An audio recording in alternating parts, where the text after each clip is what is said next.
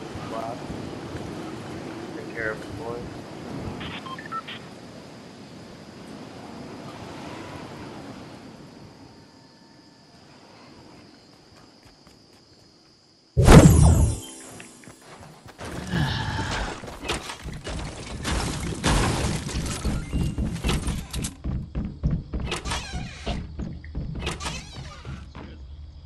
Watch out, uh,